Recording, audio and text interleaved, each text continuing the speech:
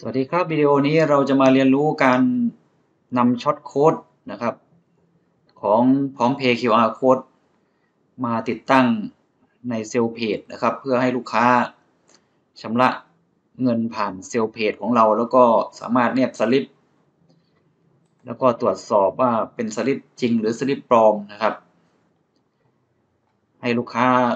กรอกชื่อนามสกุลเบอร์โทรศัพท์นะครับอีเมล แล้วก็ Line ID วันที่โอนเงิน แล้วก็เวลาที่โอนเงินนะครับพร้อมกับกรอกที่อยู่นะครับ ก็มาดูกันว่าทำอย่างไรนะครับ อันนี้ก็จะเป็นหน้าเซลเพจนะครับ ขายขนมจีนน้ำยากะทิไก่นะครับ ด้านล่างจะเป็นแอดไลน์โทรสอบถามนะครับ ทีนี้ผมจะเอาข้อมูลสำหรับโอนเงินที่เป็นพร้อมเพย์ QR code มาติดตั้งนะครับ ก็จะ Copy เอาช็อตโค้ดตัวนี้นะครับ เสร็จแล้วคลิกที่แก้ไขหน้าเซลล์เพจคลิกที่ UX Builder นะครับสำหรับคนที่ใช้ทีมแฟ t ซัมนะครับ ก็เลื่อนลงมาด้านล่างนะครับ คลิกที่เครื่องหมายบวก คลิกโลนะครับ แล้วก็คลิกหนึ่งคอลัมน์ แล้วก็มาคลิกที่ add element คลิกที่ text นะครับ เสร็จแล้วก็มาคลิกที่ตัวอักษร แล้วก็วางช็อตโค้ดลงไปตรงจุดนี้นะครับ คลิกปุ่ม Apply แล้วก็ปุ่มอัปเดต หลังจากอัปเดตเสร็จเรียบร้อยนะครับ ก็คลิกกากบาทออกไป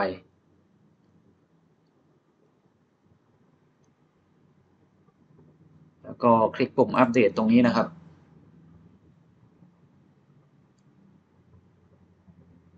แล้วคลิกที่ลิงก์ดูหน้า แล้วก็เลื่อนลงมาด้านล่างของ salepage นะครับ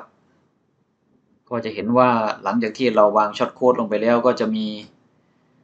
พร้อมเพย์ QR code นะครับ แสดงขึ้นมาเพื่อให้ลูกค้าสแกนจ่ายเงินนะครับ แล้วก็แนบสลิปผมจะทำการแนบสลิปให้ดูนะครับ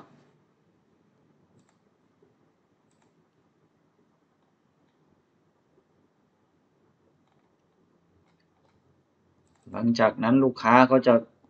กรอกชื่อนะครับ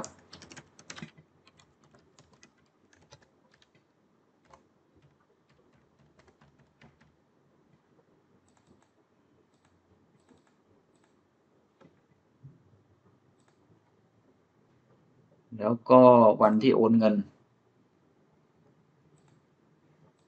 ก็เลือกเป็นเวลา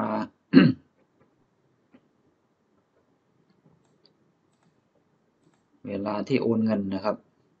อันนี้ก็เป็นวินาที เสร็จแล้วก็กรอกที่อยู่นะครับ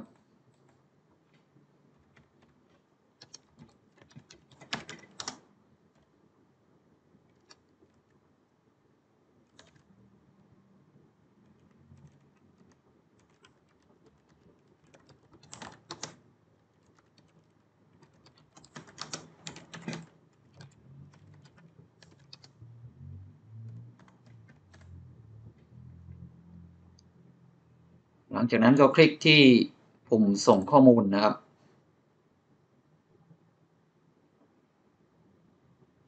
อ่าก็เป็นอันเสร็จเรียบร้อยนะครับ ลูกค้าชำระเงินเสร็จเรียบร้อย ทางปลั๊กอินพร้อมเพย์ QR Code ก็ จะส่งข้อมูลเข้าไปใน Line กรุ๊ปนะครับ นะครับ ก็จะมีสลิปการโอนเงิน แล้วก็ มีชื่อลูกค้า เบอร์โทร ลูกค้านะครับ อีเมลลูกค้า แล้วก็ Line ID ลูกค้า วันที่โอนเงินนะครับ พร้อมที่อยู่ แล้วก็มีการตรวจสอบสลิปนะครับ ถ้าเราได้เคยสมัคร API ของ Easy Slip ไว้นะครับ ตรงนี้ก็จะมีการแจ้งบอกว่าเป็นสลิปปลอมหรือสลิปจริงนะครับ ให้เราสามารถตรวจสอบสลิปได้นะครับ แต่ในที่นี้ผมใช้หมดโคต้า 50 ครั้งนะครับ ในการใช้ฟรีแล้ว เขาก็บอกให้ไปสมัครใหม่นะครับ หลังจากที่มีข้อมูลส่งเข้ามาทางไลน์กรุ๊ปแล้วนะครับ ก็อีกช่องทางหนึ่งก็ให้เราเข้าไปที่ระบบหลังบ้านนะครับ ของ WordPress ก็จะเห็นเมนูว่าพร้อมเพย์เซลเพจนะครับ เป็นพร้อมเพย์สำหรับเซลเพจก็ให้คลิกไปที่ all พร้อมเพย์เซลเพจนะครับ คลิกไปที่แก้ไข ก็จะเห็นข้อมูลการโอนเงินของลูกค้านะครับ เข้ามาอยู่ในระบบหลังบ้านแล้วก็ชื่อนามสกุลลูกค้านะครับ เบอร์โทร แล้วก็การตรวจสอบสลิปนะครับ อยู่ในระบบหลังบ้าน ก็เป็นอันเสร็จเรียบร้อยนะครับ ฟีเจอร์ การใช้ shortcode พร้อมเพย์ QR โค้ด